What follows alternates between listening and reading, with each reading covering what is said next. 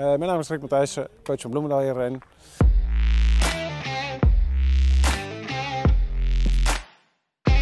Ik ben Daan Dullemeijer. Uh, ik ben 27 jaar jong. En uh, ik kom van Hurley van afgelopen jaar. Daarvoor heb ik een aantal andere clubs gehad. Maar uiteindelijk toch bij de beste club terechtgekomen, gelukkig. Ik sta achterin. Gelukkig heb ik Artje van Doren naast me die af en toe het een en ander kan oplossen. Dat is erg fijn. Op een gegeven moment was er een fotootje in de app al.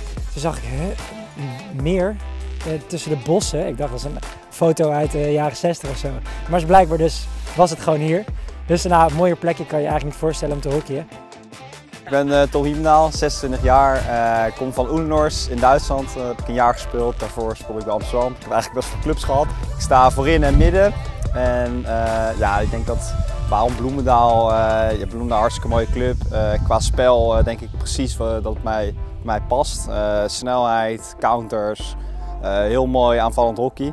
Hoi, ik ben Sam Vigge. Ik ben nog jong, ik was 18. Dus uh, eerste seizoen nog niet heel uh, spectaculair. Qua minuten waarschijnlijk, maar ik probeer wel zoveel minuten te maken als ik uh, kan en daarvoor ga ik vechten. Mijn naam is Rick Schrijver van Zenden en ik ben 21 jaar.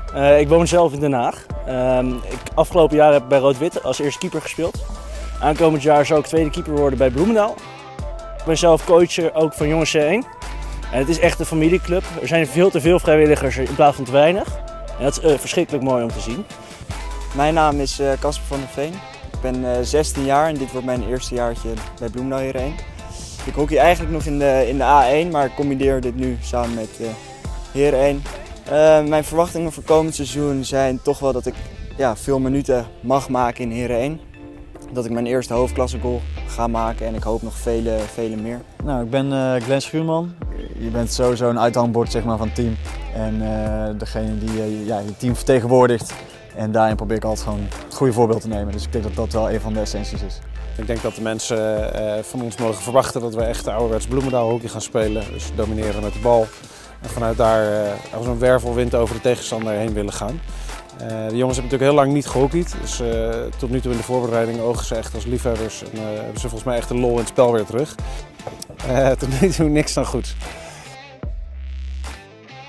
Ik verwacht een heel mooi seizoen. Ik denk dat we top 8 hebben wat allemaal van elkaar kan, kan winnen. En, maar ik denk dat wel de ambities van ons zijn gewoon heel erg groot. Er zijn twee prijzen te winnen en daar gaan we volle bak voor.